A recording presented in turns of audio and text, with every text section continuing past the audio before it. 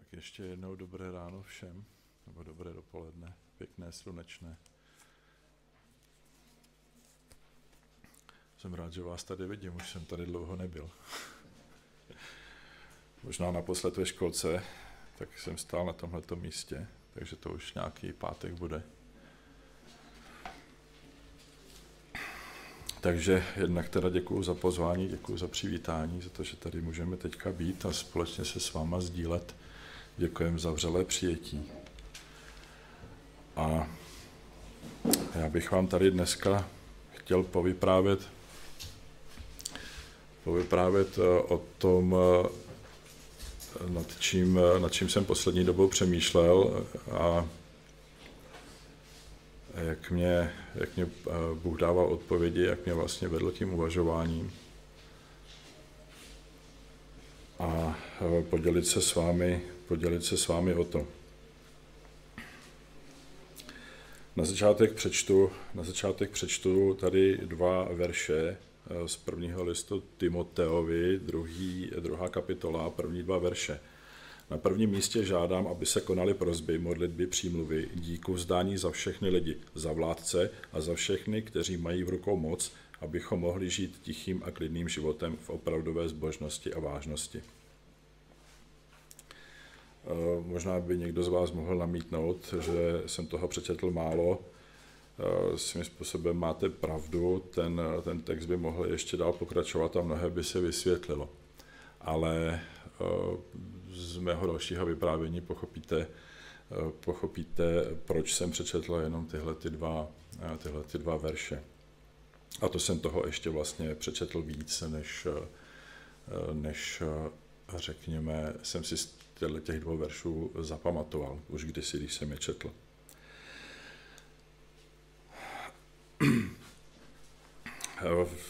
Já mm, na místě, kde pracuju, tak mám kolegu, je to taky znovu zrozený křesťan, chodíme spolu do sboru a tak občas naše firmní obědy bývají proloženy nějakou krátkou duchovní úvahou, anebo, nebo prostě se bavíme, bavíme o různých, různých tématech. A jedno z těch témat, eh, který jsme u oběda otevřeli, byla, byla vlastně modlitba za, za vládu. A nejenom za naší, ale řekněme i prostě vůbec jako za vlády, které jsou kolem, kolem, eh, nebo ve státech, kteří jsou kolem nás, protože eh, ta doba současná je taková, taková neklidná a turbulentní, pořád se něco děje a jsou kolem nás různý konflikty, které se nás nějakým způsobem týkají, ať už tím, že jsou nám blízko, řekněme na kilometry, anebo tím, že jsou nám blízko, protože se třeba jedná o státy nebo o, o místa, o kterých si třeba čteme i v písmu. A tak eh, i někdy u těch obědů, eh, toho oběda, kdy se takhle prostě sejdeme, máme tu chvíli, kdy se můžeme o něčem bavit, o něčem jiným, než, eh, než jenom o profesních věcech, tak, tak někdy vlastně i tyhle ty věci tak přijdou, přijdou na přetřes. A tak jsme tak jako spolu o tom hovořili, až vlastně eh, to vyústilo v to, že on říká, že se přestal modlit za vládu, že vlastně neví proč. Že sice ví, že bychom se za ně měli modlit a že vlastně, že vlastně neví, že neví proč, protože mu přijde, že se ve skutečnosti nic neděje, že to je stejně akorát, eh, že to jde od desíti k pěti a tak různě. Eh, já jsem v tu chvíli nad tím tak jako popřemýšlel a říkám, no, já vlastně taky nevím, proč se modlit za vládu. K čemu to vlastně je, proč vlastně, protože sice vím z písma, že se za vládu modlit máme, a nejenom za naší, protože eh, řekněme, že i vlády okolních zemí můžou nějakým způsobem ovlivňovat naše životy. A vlastně eh, to bylo to jediné, co vlastně mě v tu chvíli, eh, to byl vlastně ten jediný argument, který mě v tu chvíli napadl, že se jako za vládu modlit máme, protože to Bůh řekl, ale vlastně nevím proč, nebo nevím jak. A tak jsme se vlastně, tak jsme vlastně naši, naši a nejenom naši vládu odsoudili k tomu, že vlastně jsme vydali takový rozsudek, že oni si naši pozornost nezaslouží a že vlastně je zbytečný se za ně modlit, protože to nikam nevede.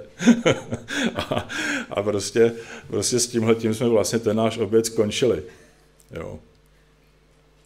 Že, že opravdu to jako nemá smysl že se sice za, vládu, za vládu modlit máme, jako Bůh to tady říká, že ale vlastně nevíme proč a s jakým účelem a s jakým cílem a, a to vlastně, vlastně to jediné, co nám z těch dvou veršů, který jsem tady dneska přečetl, nebo aspoň mě, tak vlastně v hlavě zůstalo to, že se máme modlit za vládu. Ale, ale už vlastně i v těchto těch dvou verších, který jsem přečet, a proto jsem říkal, že už tak jsem toho přečetl moc, tak vlastně je napsáno, proč se máme za tu vládu modlit ale mě to prostě z té hlavy dávno vypadlo a jsem jenom věděl, že, že se mám modlit za vládu, ale, ale vlastně nevím důvod. A, a tak jsme to prostě u toho oběda takhle jako vyřešili, že ne. A s tím jsme se, s tím jsme se rozešli. A já jsem pak nad tím přemýšlel dál, protože říkám, dobře, tak písmo je to napsané, tak to nějaký důvod má.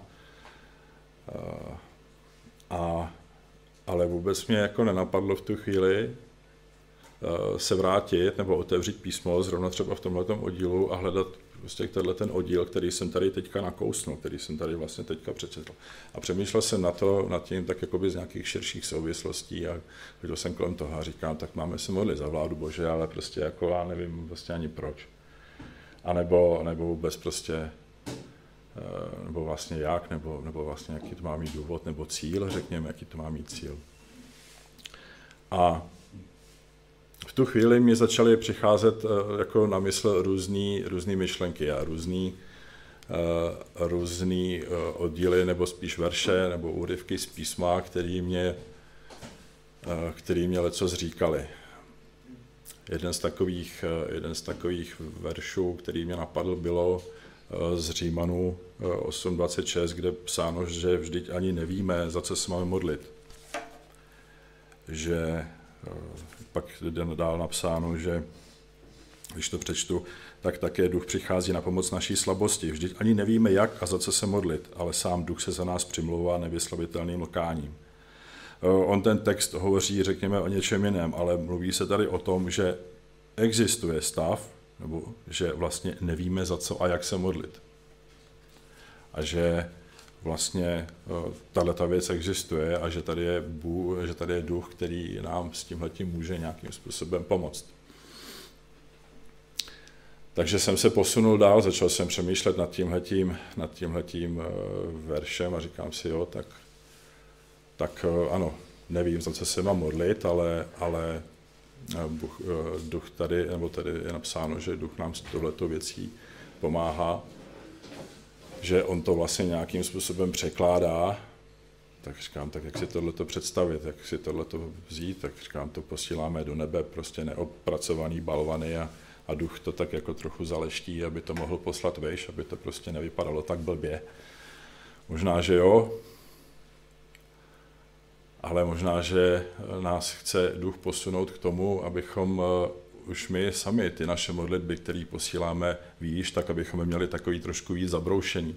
Abychom si věděli, abychom věděli, za co se modlíme, abychom se modlili tak konkrétně, abychom neposílali nahoru jenom takový hrubě neotesaný, prostě modlím se za vládu, ale abychom se třeba, abychom se dokázali soustředit na nějakou věc, na nějakou konkrétní věc. A tak jsem pátral nad tím dále, přemýšlel jsem, říkám, tak dobře, tak jako jak se tím letím naložit, jako jak vlastně, jak vlastně dál s tím tím pracovat. A chvíli jsem na tohletou, na tohletou záležitostí uvažoval, že? takže eh, opak jsem přemýšlel potom i nad dalšími, nad dalšími tématy, že? protože samozřejmě jedna, jedna věc je, řekněme, naše tady interní politická situace, která pořád je ještě relativně dobrá, protože tady furt není válka, ale pak jsou prostě ty místa, kde se, kde se království X rozhodne, že zničí království Y a začnou se nějakým způsobem, začnou se nějakým způsobem být.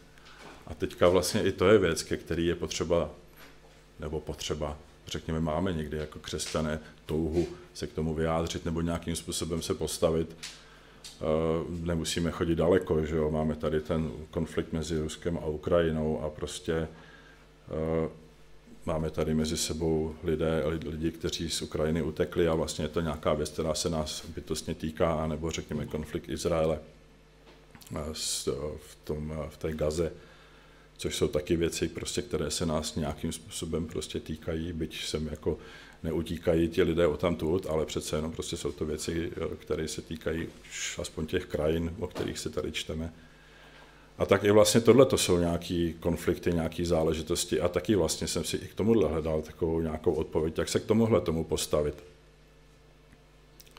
Jestli to ignorovat, protože to je daleko, anebo jestli uh, se přimlouvat za jednu stranu a tu druhou ignorovat, anebo vlastně jakým způsobem uh, se na tohle to dívat. A přemýšlel jsem nad tím, jak vlastně, jak vlastně třeba na to hledí Bůh, anebo jak na to hledět a tak jsem si při těchto těch svých úvahách prostě mi hlavou taky všelijaký takový myšlenky, připomnělo mi to chvíle mají takovou situaci na dětském hřišti, kdy se tam dvě děti perou po nějaké chvíli, kdy si společně hrajou na písku a pak si nějakým způsobem jedou do vlasu.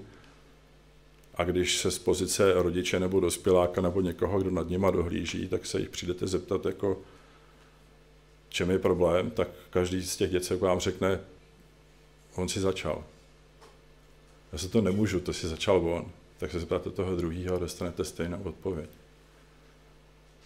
A tak mně přijde, že vlastně, když jsem se nad tím, tím dál rozmýšlel, tak mě prošel hlavou další z takových eh, úryvků veršů. Eh, to opět je to v Římanech ve třetí kapitole, ve 23. verši, kde je napsáno, že, že není rozdílu, že, že všichni zajisté zřešili a jsou daleko od slávy Boží. Opět je to text, který tam mluví o, o židech a o, o pohanech, ale, ale už jenom ten princip, že uh, hřích je něco, co nás vzdaluje uh, od slávy boží se vším všudy. To znamená, pak dostávají průchod uh, takový ty, takový ty naše lidský projevy, který, který jsou Bohu protivní kdy vlastně nejsme schopni si odpustit, kdy nejsme schopni eh, vzájemně hledat cestu nějakého smíření a kdy nejsme schopni vlastně eh, pochopit toho druhého, kdy vlastně dáváme pro průchod akorát svýmu, svýmu nějakému já a svý sobeckosti a, a neodpuštění a podobným, podobným věcem, protože jsme daleko od Boha, protože vlastně tyhle ty věci, které eh, tyhle ty vlastnosti, které jsou boží, tak, tak jsou nám velmi, velmi vzdálení. A tak vlastně, když to takhle vezmeme z nadhledu, tak jaký je rozdíl mezi královstvím X a královstvím Y ve chvíli, kdy se prostě tlučou? Vlastně žádný, protože oni jsou prostě daleko od slávy boží. Oni ve skutečnosti dávají průchod nějakým svým emocím, nějakým svým, nějakým svým eh, sobeckým zájmům. A teďka prostě jsme tady v tom my jako křesťani, máme se za někoho modlit, máme se za ně modlit, máme třeba, nebo se nás někdo ptá i na nějaký názor, co bychom s tím dělali, jak se k tomu postavit a my kolikrát prostě fakt nevíme. Nevíme, za co se modlit, jak se modlit, jestli stranit království X nebo království Y, kteří navzájem prostě kují pikle a nějakým způsobem se si vyhlašují válku. A a teďka vlastně co s tím? My tady nějakým způsobem v tom žijeme a teďka se k tomu potřebujeme nějakým způsobem, nebo nepotřebujeme, ale třeba chceme se k tomu nějakým způsobem vyjádřit, udělat se na to nějaký názor, mít prostě k tomu nějaký, na to nějaký pohled.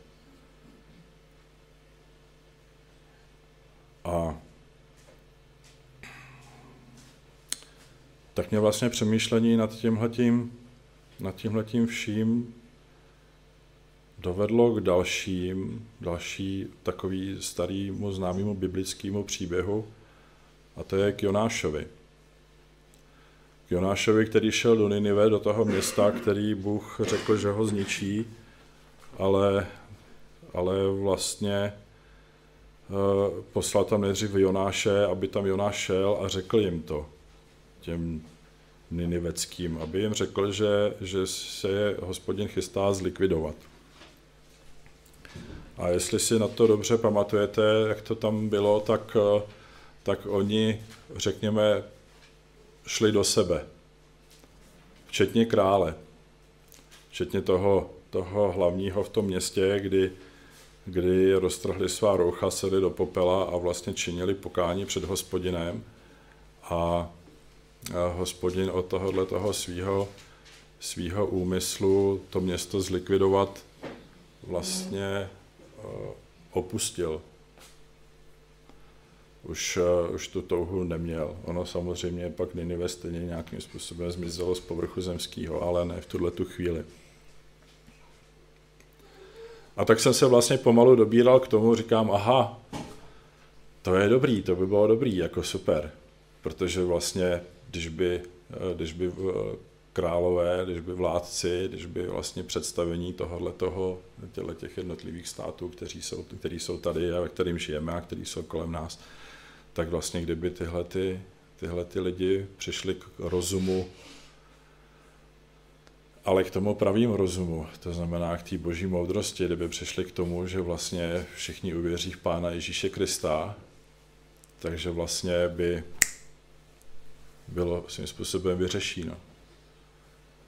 Protože eh, ta jejich změna by nebyla už o tom, že oni nějakým způsobem prostě ze své vlastní vůle budou konat dobro, ale už by to byla vlastně věc, ke které by je vedl sám Bůh, protože by měli Boha ve svém ve svým, ve svým srdci.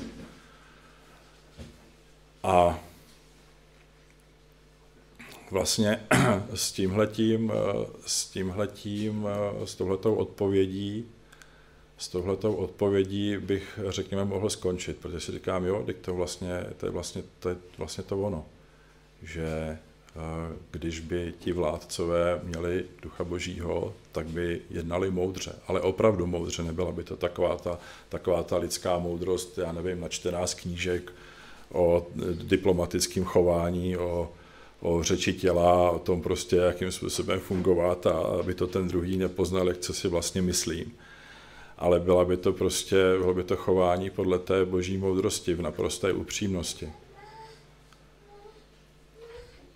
A vlastně to byla taková ta odpověď na, to, na tu moji otázku, za co, se vlastně, za co se vlastně modlit ve vztahu k vrchnosti. Za to, aby, aby oni se stali těmi, kteří budou podobní tomu eh, vládci, tomu králi v Ninive. Aby byli těmi, kteří prostě roztrhnou svý roucho, budou činit pokání před hospodinem a budou těmi, kteří povedou ten národ. je to možná jednoduché řešení, ale jako možná, že eh, uskutečnit tohleto nebo naplnění tohle toho, eh, tohle toho, eh, tyhle představy, nebo jak řekněme, z tohohle toho cíle, to je možná ještě větší utopie, než ty modlitby, které jsem třeba mýval dřív, za to, aby ti vládci měli aspoň trochu rozumu. Ale přijde mi to jako jediný, jediný smysluplný cíl jediný smysluplný cíl, jaký vlastně může tohleto, tahle situace ve světě obecně prostě jako mít. Aby lidé poznali Pána Ježíše Krista jako svého spasitele, jako toho, kdo je osvobodí, jako toho, kdo jim dá uh, moudrost a rozum do hlavy. A nejenom do hlavy, ale do srdce, že prostě uh, to bude touha těch, těch vládců vést uh, to stádo, řekněme, k nějaký vést ho v moudrosti. No a paradox, paradox celého tohohle toho mýho, mýho uvažování, tak ten se dovršil, řekněme, včera, když jsem se připravoval na dnešní, na dnešní kázání, na dnešní povídání. Když jsem po těchto těch všech úvahách jsem teda šel, že si tady vypíšu tyhle ty verše, tak jsem si potom tadyhle vrátil, vrátil k tomuhle tomu prvnímu listu Timoteovi a dočetl jsem si to celý.